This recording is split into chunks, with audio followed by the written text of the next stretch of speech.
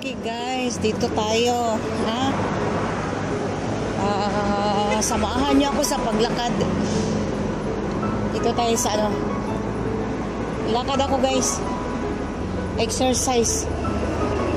Exercise ako ng ano maaga. Ah, lalakad lang ako dito sa ano malapit sa ano ko dito, dito sa area ng uh, Farwania. Kasi guys, alam mo na, may hypertension tayo, kailangan maglalakad. Ito po ang sitwasyon ng daanan para ganito ng Pilipinas. O, oh, yun, ang mga bus. Grabe, ha? Woo! Ito lang. Grabe, guys. O, oh, ito yan. Sitwasyon. Oh, yan. Ah, makakita ko sa iyo, guys. Tingnan nyo yan, ang kalsada guys. Titingnan nyo, oh yan. Ito ang ano, kalsada ng Kuwait. Uh, Kuwait Parwania. Ito, oh yan. Ako, oh, yun, bus. Dami ah. Oh, yun oh. Yan ang sasakyan kasi guys ng mga ano, yung uh, nagtatrabaho. Kasi mas mura siya kaysa mag-taxi ka. Kaya dapat na lang magbabas ka talaga. Ganito ang sitwasyon. Kasi nga dito ang taxi, alam mo ba magkano? Equivalent sa atin ang taxi guys. Magkano? Ha? 150 o 200. That is my regular. Yung unregular pamasahe dito ng taxi. Sa atin, Pilipinas, 100, uh, 150. Ah, hindi 150 guys. 200 pala kasi uh, 1.5 dinar. So, uh, equivalent sa atin yan, malalaki na guys, kaya manghihinayang ka talaga. Kaya nga, buti magbabas ka na lang kasi yung bus, ruba. So, yung ruba, ibig sabihin yung 30 plus. Malaki din, kaso lang. Kayong magawa.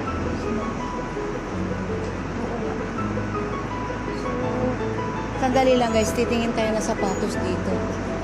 Ano yung sapatos ito? Wash 35 now, 19 KD.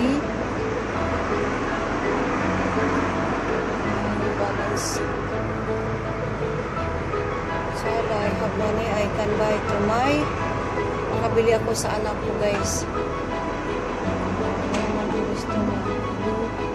Ano kaya gusto niya, guys? Blue. Huh? Ito ba sa loob? Maganda siya. Okay guys. Tuloy tayo doon guys. Yan kaya lakad lang ako guys. Ito ang ano. Ito ang buhay ng ano. Dito ako para makikita natin talagang kalsada guys. Sa ngayon hindi pa masyado traffic makikita mo puro ano lang yung sasakyan. Sa kalsada yun. Yan guys. Yan. Grabe. Oh so yung building na yan.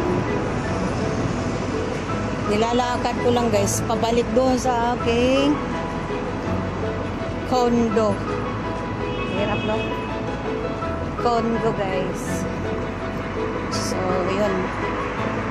Ito lang. Yun ang ating lalakayin ngayon. Lalakad tayo. Ayan. Ayan na. Lalakad ko guys. Ayan po. Ayan. So, alam ko, hindi lang ako nag-iisang naglakad ngayon. Marami tayong naglalakad ngayon, guys. Salamat naman sa inyong pagsama sa paglakad ko dito, guys. At least may kasama akong naglalakad, hindi ako nag-iisa. So, exercise na rin ito, guys. Mahirap dito. Kaya kasi kung ano, kasi, lagi, lagi tayong sumasakay. Ang sahod mo dito, mauubos. sa kakaano, sa kap, ah, pamasahe. Kaya kung kaya mo ditong lakarin, ito ang lalakarin namin guys. Ito. Kunwari kung may trabaho kami, kung kaya namin lakarin, nilalakad namin guys. Oh. Yan. Yan ang mga bus dito. So, talagang ano, Tsaga lang.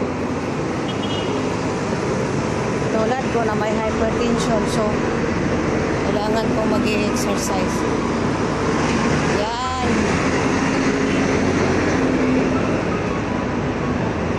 Hirap yun. Sa totoo na. Mainit guys, pero masarap. May umbrella ako guys. Ito oh, may umbrella ako guys oh. Pero hindi ko lang ginamit kasi nga gusto ko marawan ako eh. Oh, kasi mahirap laging naka ano, laging tawag nito. Hindi umaandar yung dugo mo. Kailangan ah, may steam ka rin sa init. Kaya kung paano lalabas yung mga ano sa katawan.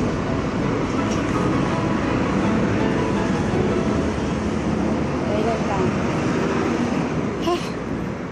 Pagod rin guys, pero tayo magawa. Kailangan nating lalakarin. Talagang ganyan. Kapag ang buhay. Oh. Sige. Lakad din na. Lakad ng lakad.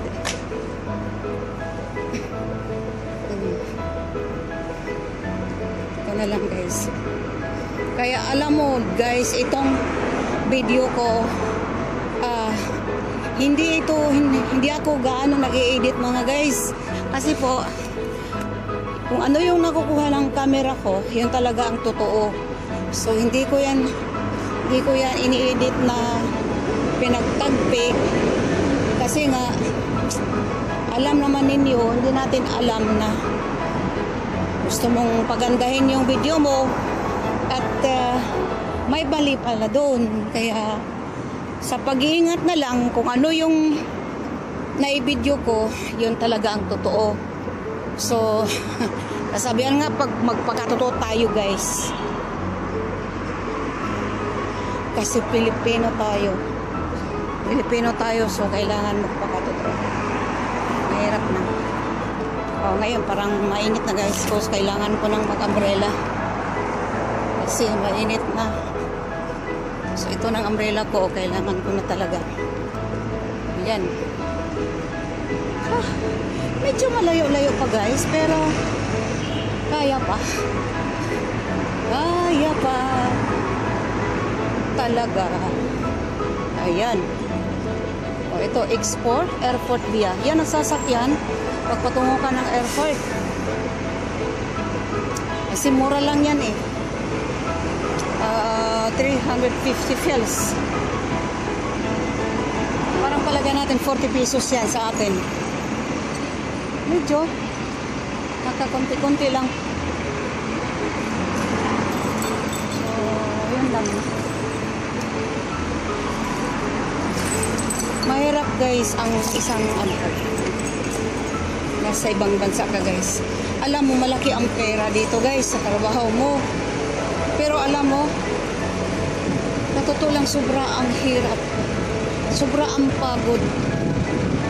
Lahat-lahat kasi dito tinitiis mo guys. Kaso lang, pinsan nga guys, nakakalungkot. Kasi nga, uh, may pamilya hindi nakakaintindi. Papadala mo ng pera, sabihin pa hindi. Hindi kasya yung pera. No? Ang sarap naman sabihin kayo kaya ang mag-abroad. At ako ang naghihintay sa Pilipinas ng padala. Ano kaya ang maramdaman nyo mga mga kamag-anak sa Pilipinas? Ay, hindi man lang nyo nakita kung anong paghirap dito. Mahirap dito guys. Ha? Hindi lang nyo ramdam ang paghirap ng OFW. Kung ano namang posisyon dito guys, sa totoo lang sasabihin ko, sasabihin ko sa lahat, ano yung posisyon mo dito, teacher o doktor o nurse ka, engineer ka man dito, lahat kami dito nagsasacrifice. Hindi forke na malaking sahod o professional ka dito, hirap pa rin ang buhay mo dito sa ibang bansa.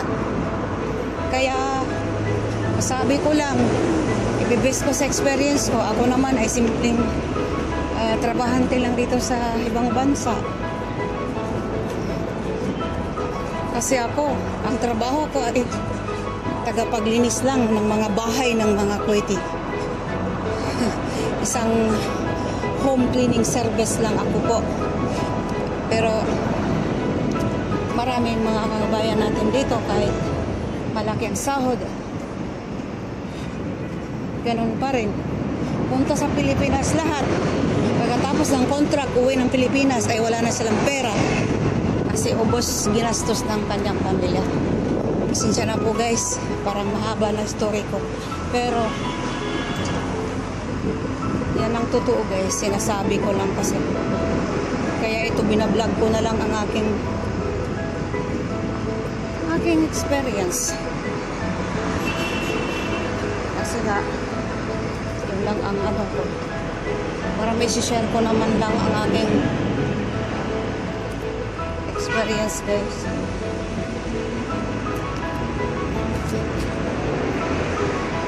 Mahirap. Talagang ano, hirap talaga guys.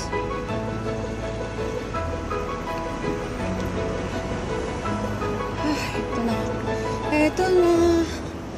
Sakit ng paa ko. Di ko alam. Paano dumating ng bahay ko? Kailang sakit ng paa ko. Ito na kasi.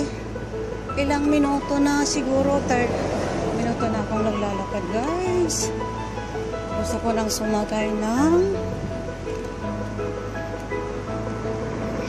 Sana may karabaw dito guys. Sasakay ko ng karabaw kasi kasi yung karabaw walang pamasahe. Diba? Eh, kaso lang guys, wala namang karabaw dito. So,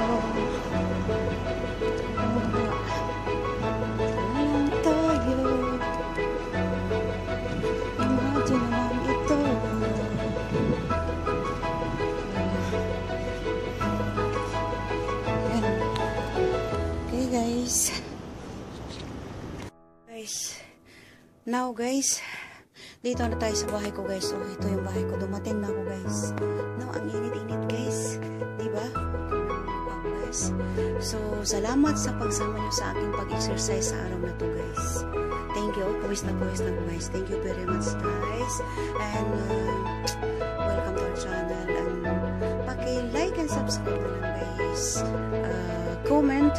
And hindi pa nakasubscribe, please subscribe. Herminan Media Channel.